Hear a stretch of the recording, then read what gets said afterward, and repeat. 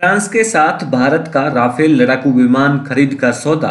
एक बार फिर सुर्खियों में है, फ्रांस के एक आदेश की आड़ लेकर कांग्रेस पार्टी और लिबरल पत्रकारों ने मोदी सरकार को घेरने के लिए फिर से मुहिम छेड़ दी है। अपने आका यानी राहुल गांधी को खुश करने के लिए देश के तमाम मीडिया हाउस मदगडंत किस्से कहानियाँ बनाने में जुट गए हैं, जबकि हमारे देश का सर्वोच्च न्यायालय पिछले वर्ष जुलाई में ही राफेल डील को क्लीन चिट दे चुका है। ज़ाहिर है कि सुप्रीम कोर्ट को जब इस डील में कुछ गड़बड़ नज़र नहीं आया तो फिर कोई भी देश, कोई भी संस्था इस पर सवाल उठाए, उससे कोई फ़र्क नहीं पड़ता है। कांग्रेस नेता राहुल गांधी ने हमेशा ही राफेल डील को लेकर उलझुल बातें कही है।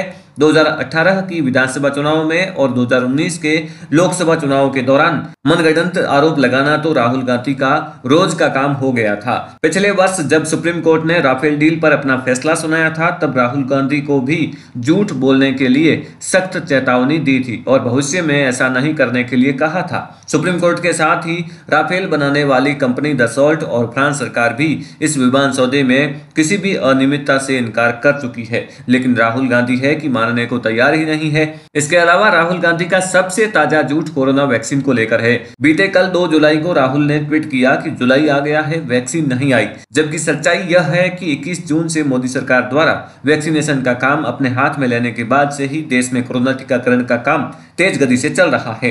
भारत पूरी दुनिया में वैक्सीनेशन के मामले में अग्रणी देश बन चुका है। रोज़ाना औसतन 50 लाख से अधिक लोगों को टीका लगाया जा रहा है और दिसंबर तक पूरी आबादी के वैक्सीनेशन का लक्ष्य पाने की कोशिश की जा रही है। लेकिन कांग्रेस के युवराज राहुल गांधी को ये सब दिखता ही नहीं है। तो फ़िलहाल इस वीडियो में बस इतना ही। इस बारे में आपकी क्या राय है, कमेंट करके ज़रूर बताएँ। वीडियो पसंद आए लाइक कीजिए, शेयर कीजिए और ऐसी ही वीडियोस के लिए अपना इंडिया चैनल को सब्सक्राइब कीजिए। जय हिंद, जय भारत।